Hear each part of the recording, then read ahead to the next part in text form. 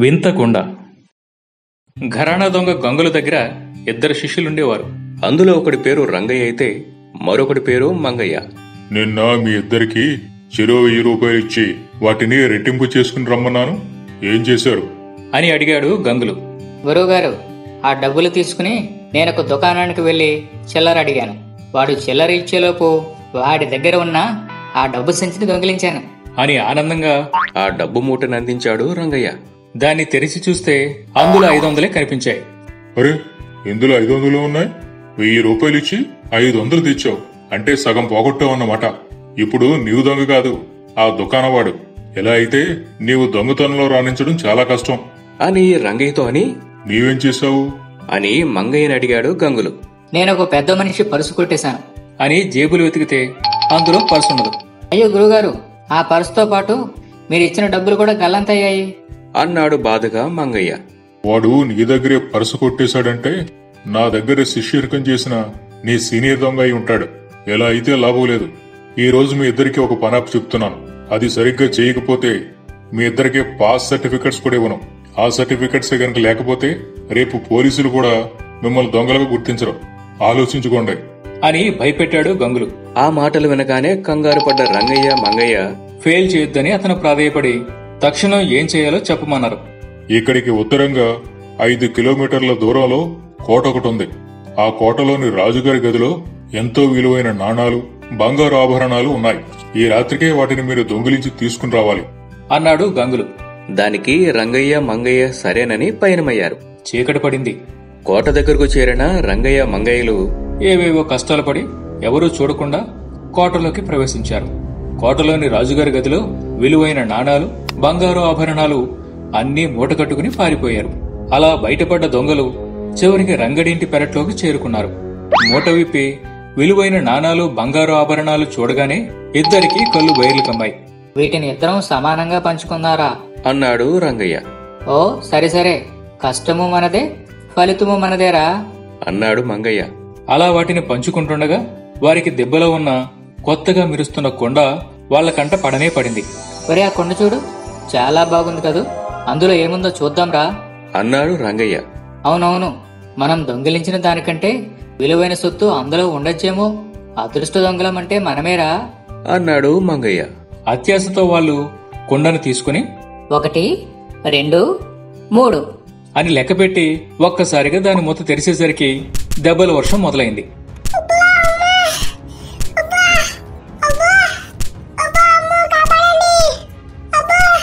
దొంగలు అరుస్తూ అటు ఇటు పరుగులు తీశారు.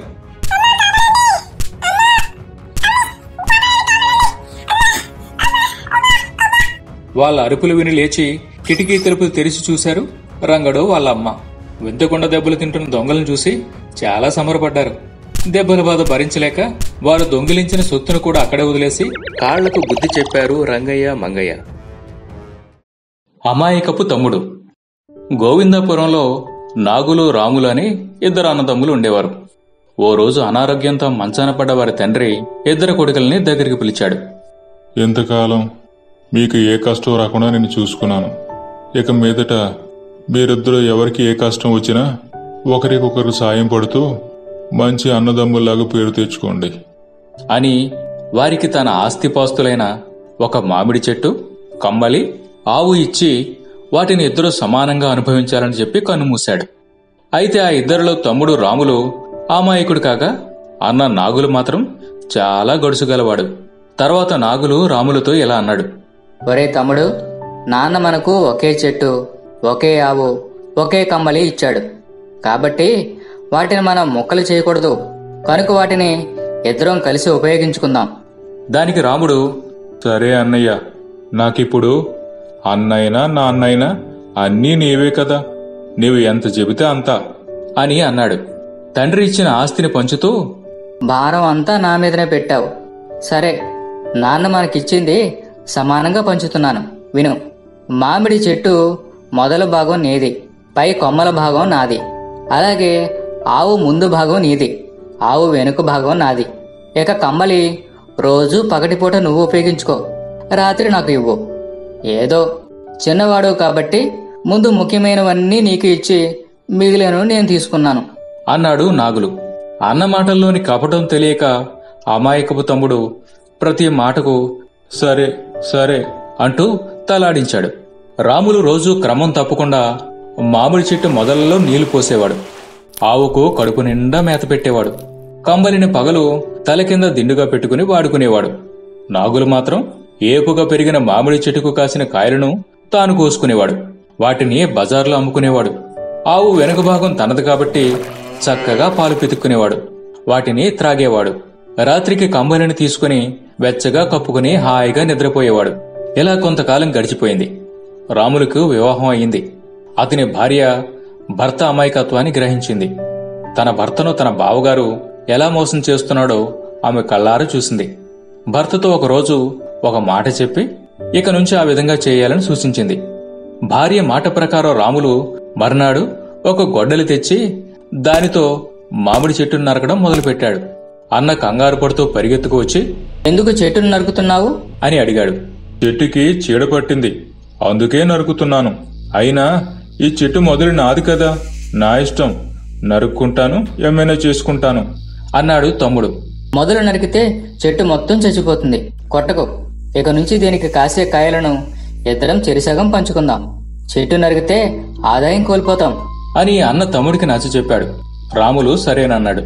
మరో రోజు నాగులు ఆవు పాలు పితుకుతుండగా రాములు వచ్చి ఆవు తలపై గట్టిగా కొట్టాడు.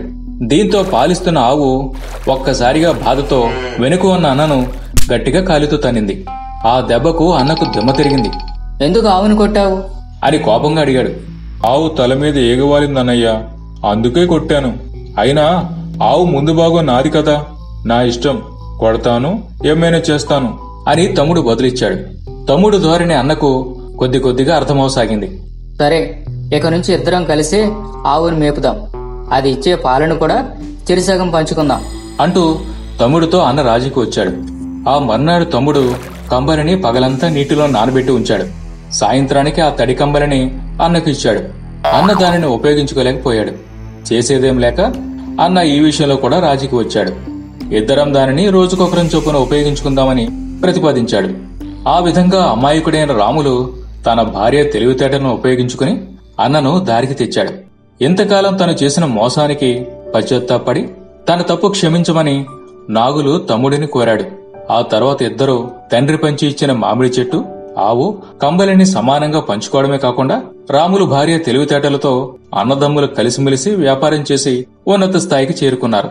తండ్రి కోరుకున్నట్లుగా మంచి అన్నదమ్ములుగా పేరు తెచ్చుకున్నారు. కోడిని ఏమార్చిన తోడేలు. ఒకనొక అడవిలో ఒక తోడేలు ఉండేది. అది రోజు రాత్రిలు ఆ అడవికి ఆనుకుని ఉన్న ఊరిలోకి చడి చప్పుడు కాకుండా వచ్చి కోడి పిల్లలను ఎత్తుకుపోయేది. ఒక్కోసారి పంట పొలాలను కూడా నాశనం చేసేది. దానిని పట్టుకోవడానికి ఎవరెన్ని ప్రయత్నాలు చేసినా అది తెలివైనది కావడంతో దాని ఎత్తుగడల ముందు ఎవరూ నిలవలేకపోయేవారు. దాంతో రాత్రి అవుతుందంటే చాలు. ఆ తోడేలుతో ఎప్పుడు ఎవరి ప్రాణానికి ముప్పు వస్తుందోనని ఊళ్ళో ఉన్న సాధు జంతువులన్నీ వణికిపోయేవి. అది ఏ క్షణాన ఎటువైపుగా ఎలా వస్తుందో మనం అంచనా వేయలేకపోతున్నాం. పంట పొలాలను నాశనం చేస్తోంది. దానిని పట్టుకోవడానికి చేసిన ఏ ప్రయత్నము ఫలించలేదు. అని ఒకరంటే పైగా మనం పెంచుకుంటున్న కోళ్ళను కూడా ఎత్తుకుపోయి చక్కగా అడవిలో కూర్చొని తింటోంది.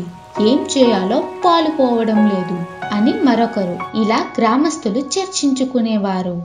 ఉన్నట్టుండి ఒక రోజు ఆ తోడేలు పొలంలో పడినట్టు గ్రామస్తులకు తెలిసింది. ఊళ్ళో వాళ్ళంతా మొత్తానికి ఆ తోడేలును ఎవరో చంపేసి ఉంటారని హర్షించారు. ఇదంతా గ్రామస్తులు మాట్లాడుకోవడం ఓ కోడి విని తన పిల్లల దగ్గరకు వచ్చింది. మన అందరికీ చాలా సంతోషకరమైన విషయం ఒకటి నాకు ఇప్పుడే తెలిసింది. మన శత్రువు తోడేలు పొలాల్లో చలనం లేకుండా పడి ఉందట. ఇక నుండి మీరంతా భయం లేకుండా ఆడుకోవచ్చు. మనమంతా హాయిగా నిద్రపోవచ్చు అని ఆ తల్లి కోడి చెప్పడంతో పిల్లలు ఎగిరి గంతేశాయి. అంతా తోడేలను చూడడానికి పొలానికి చేరుకున్నాయి. చలనం లేకుండా పడి ఉన్న తోడేలను చూస్తూ హాయ్ హాయ్ భలే భలే ఇంతకాలం అంత దూరం నుండి దీనిని చూడాలంటే భయపడే వాళ్ళం ఇప్పుడు దీన్ని ఇంత దగ్గరగా చూస్తే చాలా సరదాగా ఉంది అని పిల్లలు దాని మీద నుంచి దూకసాగాయి. ఇంతలో ఆ తోడేలు నెమ్మదిగా కదులుతూ కూడలు మీకు అంత సరదాగా ఉందా? అంటూ లేచింది. దాని స్వరం విని భయపడిన కోడి పిల్లలు పరుగున తల్లి దగ్గరకు వెళ్ళిపోయాయి. అరే నువ్వు చచ్చిపోయావనుకున్నామే చావలేదా? అంది కోడి ఆశ్చర్యంగా. పెద్దగా ఆవలించిన తోడేలు. అదేం లేదు మిత్రమా నిన్న రాత్రి ఓ బుజ్జి కోడి పిల్లను కడుపు నిండా బాగా తిన్నాను. అందుకే కాడ నిద్ర పట్టేసింది అని జవాబిచ్చింది. కోడి వెంటనే కంగారుగా తన పిల్లలను లెక్క పెట్టుకుంది. ఒక కోడి పిల్ల తక్కువైంది. ఇదేమిటి? ఒక కోడి పిల్ల తక్కువ ఉన్నా నాకు తెలియలేదే అనుకుంది. ఏంటి మిత్రమా నిన్న రాత్రి నీ పిల్లను ఎత్తుకుపోయి తింటే నీకు తెలియలేదు. కానీ ఒక్కో క్షణం క్రితం నేను ఇక్కడ పడి ఉన్నానని తెలిసి వెంటనే పరిగెత్తుకు వచ్చావు. అంది తోడేలు వ్యంగ్యంగా. కోడికి తను చేసిన తప్పేమిటో అర్థమైంది. చేసేది లేక మిగిలిన పిల్లల్ని తీసుకుని బాధగా ఇంటి దారి పట్టింది. ఈ కథలో నీతేమిటంటే ముందు మన ఇల్లు చక్కబెట్టుకుని తరువాత పర్ల గురించి ఆలోచించాలి.